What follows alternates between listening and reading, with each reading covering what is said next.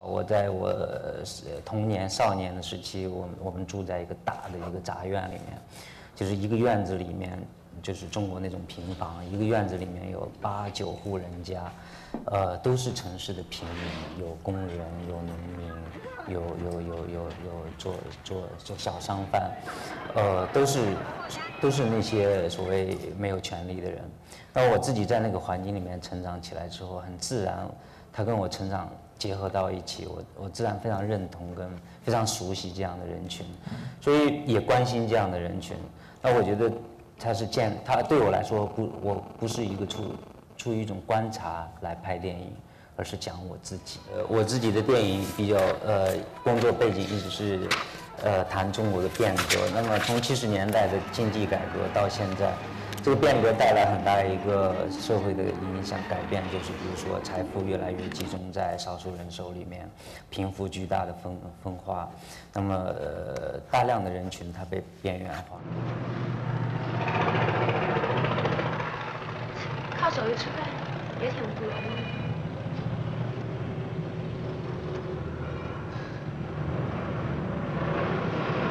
你开个厅，开个厅，饭店的饭店。我本人每个社会，不管中国也好，美国也好，可能表面上看起来都是一个一个一个权力的社会，人们可能可能可能整个社会呃都需要文化去关心这些弱弱势的人，特别是艺术。我我在拍电影的时候，实际上就是选择空间对我是一个非常非常重要的工作，因为我觉得。对我来说，空间就是它有所有人活动的那种痕迹，呃，空间的气氛，呃，和人的命运结合到一起，我觉得才可能展现一个完整的一个气氛。其实这也是中国传统的一个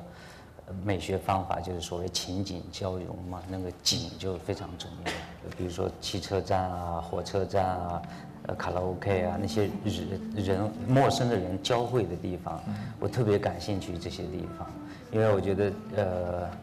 呃，在在这些地方，我们能够寻找跟等待到那些呃有诗意的时刻，呃，虽然可能我们对往来的人不是很了解，但是这个空间提供了一个我们跟陌生人相会的一个可能性，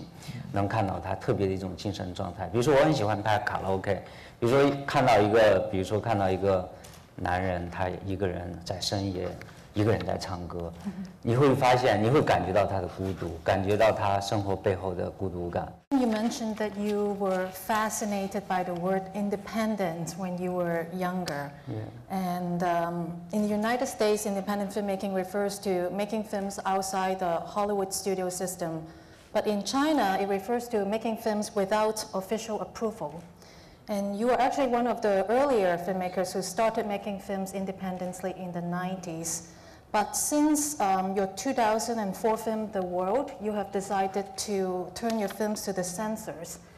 呃，因为呃，中国呃有独立电影大概是在一九九零年，呃，从一九九零年到两千零三年，将近有十三年 这么长的时间里面，我觉得中国最有创造力的、最活跃的。呃，跟中国人生活关系最密切的影片都是这一部分独立电影，比如说呃张元的电影啊，王小帅的、娄烨的影片。但是有一个问题，就是十三年的过程里面，这些影片没有办法呃正常的跟中国的观众见面。也就是说，呃，作为一种创造，这些作品没有办法发挥它的作用在在中国的文化里面。所以到九两千年呃以后。我特别希望能够推动，呃，这一类型影片能够在中国能够获得公演，能够跟中国的观众呃见面。那么一直到两千零三年呢，就就大量就大量的呃，包括我自己的影片，包括其他导演的影片，呃，都开始陆续的呃陆续的能够在中国公演。这背后有有两个原因。呃，一方面是就是呃十几年的时间里面有大量的导演被禁止拍电影，但是事实上禁止不了，包括我本人在在内，我们一部又一部持续的呃进行这种连续的表达，因为是事实上那个时候也开始有了数码，然后制作电影更加方便，呃，我想呃能够让这些独立电影在中国公演，首先是呃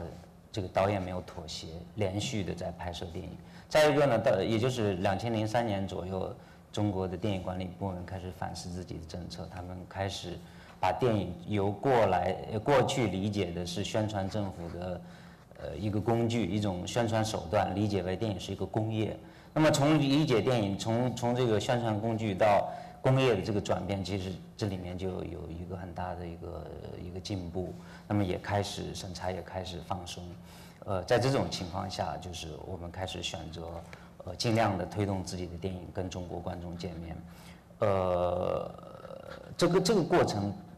很不容易，因为你实际上要付出更多的耐心、努力去去处理这些事情。嗯，但是当我们的电影真的能够允许在中国放映之后，我发现面临的另外一个困难，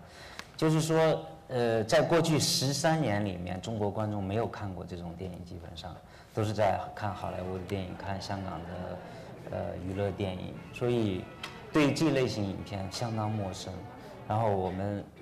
需要做的工作也还仍然非常多，怎么样能逐渐的？让中国的观众更多的感兴趣这类型电影，还是需要做很多工作。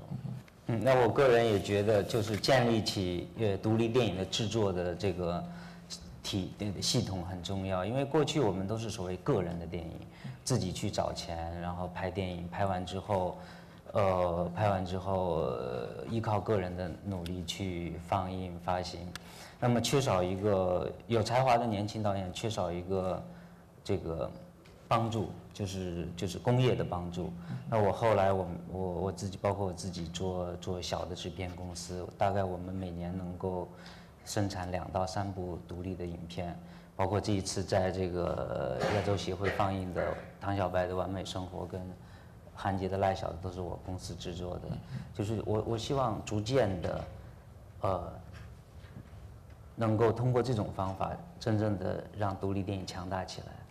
There is something in common among the young independent filmmakers, including yourself, which is the preference for realist aesthetics. The filmmakers prefer to use non-professional actors to create a sense of authenticity. They prefer actual locations to studio sets.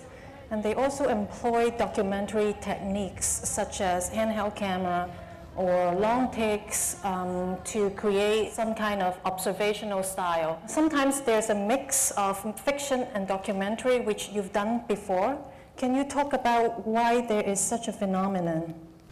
呃，我想就是，呃，包括我自己在内的大多数目前拍电影的中国导演，可能我们拍电影的一个很大的动力来自于是中国当代的现实给我们的影响，这种刺激。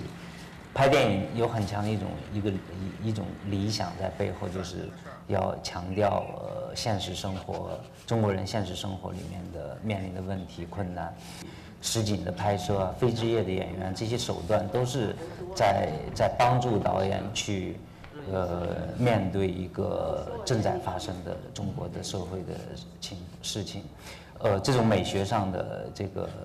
这个相似性。我想背后有这个我们面临的共同的生活背景和共同的拍电影的目的，就相比较相似的拍电影的目的是有关联的。对，而而且中国电影在过去这个国家制片厂的这个这个历史里面，他们有一个很重要的传统，就是电影非常的虚假。你看完这个影片之后，你会发现跟中国人没任何关系，是一些非常奇怪的。还有这种一种奇怪的道德感，还有共产主义信念的这样的一些人在荧幕上活动，所以反对这一类型电影呈现真实，变成了一个中国导演不约而同非常非常激动的要去做的一个事情。实际上只是回到很简单的真实，但是对中国电影来说，这种转变是是是很不容易的，所以那些手段都是为真实服务的。